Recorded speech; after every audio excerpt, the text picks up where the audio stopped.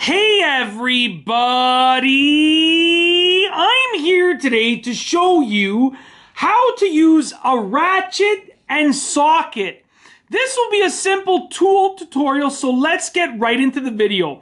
As you can see, this is an example of a ratchet and a socket that's attached to it. This is also an example of a ratchet right here. Now you'll notice that these are actually two different, sorry about that, something's just rolling off the table. These are actually two different sizes. The smaller one that you see over here is actually a one quarter inch ratchet, as denoted by the small uh, head over here.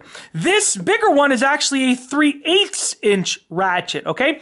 Now they're really easy to use, really convenient. Essentially, you want to take your ratchet and you want to take this, which is actually called the socket. Now, on one side of the socket is a little square that connects to the head of the ratchet. On the other side of the socket is actually the head of the socket that basically uh, determines the size in which it will be operating on. So take the socket, take the square side, put it inside of the square head, it'll clip in place. Now what you have is you have your ratchet and your socket ready to go. Now you'll notice there's a lever here. Now the cool thing about a ratchet is that it ratchets. You hear that sound right there? So it allows you to pull in one direction and then ratchet it back. So instead of having to constantly remove it, it allows you to just do that. Now, if you want to change the direction, because right now it would be tightening, it's rotating clockwise, ratcheting counterclockwise, rotating clockwise, ratcheting counterclockwise. So it would be tightening. All you got to do is take this and turn it like that. And now, as you can see, rotating counterclockwise, ratcheting clockwise. So now it would actually be loosening, okay? In addition, and I'll show you, I'll demonstrate myself using it in just a moment, there are various extensions that you can have. So right here we have a ratchet, we have an extension. You could pop that extension in there. It gives you a little bit of extra length. And then I can take the longer, uh, sorry, the uh, bigger one, the 3 8 style, and I can just push it right in there. As you can see, I now have an, a ratchet with an extension and a socket. Just allows me to get a little bit further. You can get really big extensions as well. So in order to use a ratchet, you know, let's say I wanted to loosen it, right? So right now I would be loosening it. I'm in the loosening mode. You take the ratchet with the socket. You want to put it around the bolt. So right here we have a bolt on the base of the seat of the bike. I take the ratchet, I just put it around there.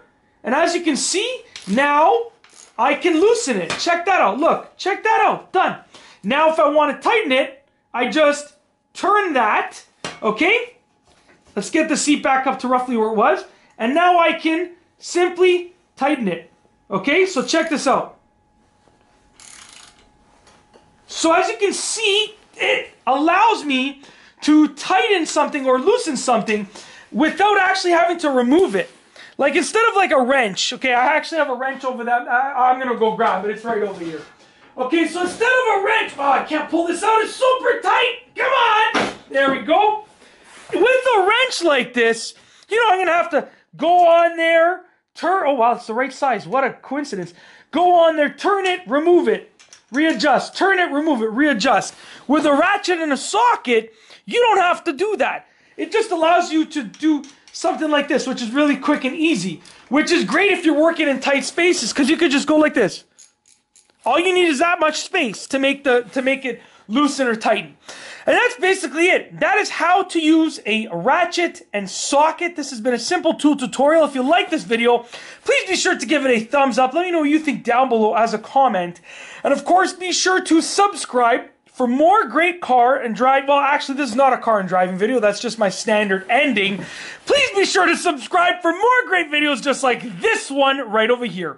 And that's all I have for you today. Thanks for watching.